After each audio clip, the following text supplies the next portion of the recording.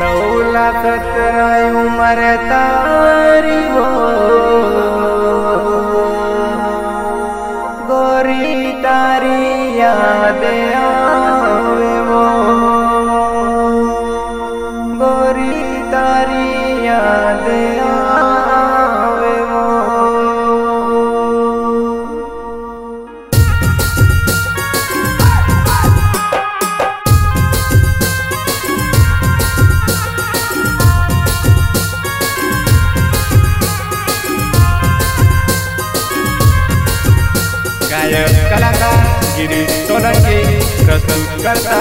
मनीष जनानी,